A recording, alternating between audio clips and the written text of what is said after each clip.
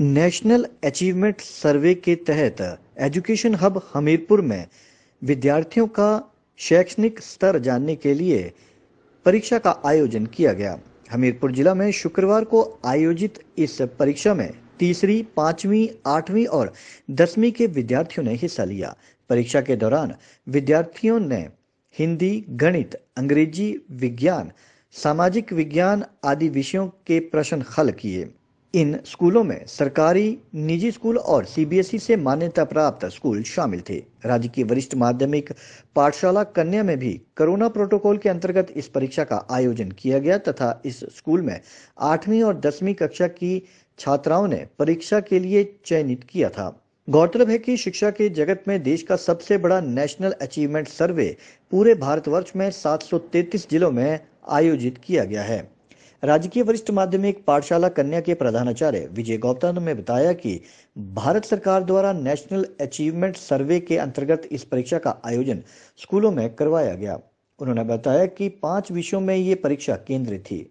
विद्यार्थियों के भविष्य की योजना और अचीवमेंट के आधार पर ही तुलनात्मक स्टडी की जाएगी।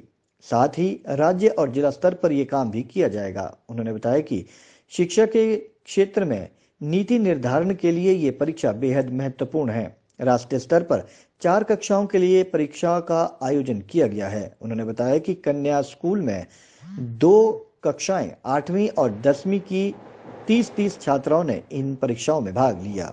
स्तर पर नेशनल अचीवमेंट सर्वे का भारत सरकार द्वारा सीबीएसई द्वारा ये एक टेस्ट करवाया जा रहा है, जिसमें पूरे भारत के बच्चों की रैंडम सैम्पलिंग की जाएगी। पाँच विषयों पे ये फोकस है। लैंग्वेजेस है हिंदी इंग्लिश मैथ साइंस इन पे ये फोकस किया हुआ है।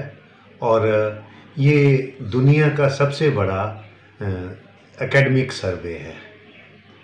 तो भारतवर्ष में सभी बच्चों की जो फ्यूचर प्लानिंग है, इस और अचीवमेंट जो है, वो उसको देखते हुए राज्यवार, जिलावार जो है, वो सरकार प्लानिंग करेगी और तुलनात्मक अध्ययन भी करेगी ताकि शिक्षा के क्षेत्र के लिए आगे नीति निर्धारण किया जा सके।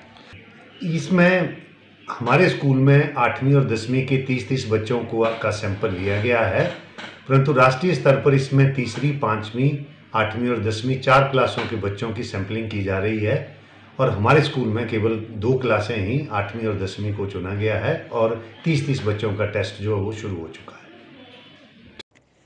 आपको बता दें कि भारत सरकार के शिक्षा मंत्रालय के द्वारा इस सर्वे का शुभारंभ वर्ष 2001 में किया गया था। हर तीसरे वर्ष पूरे भारतवर्ष में स्कूलों में ये सर्वे करवाया जाता है।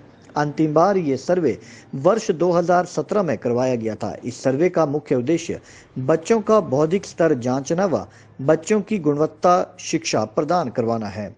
हमीरपुर जिला में इस सफलता को लेकर विद्यार्थियों में भी खासा उत्साह देखने को मिला।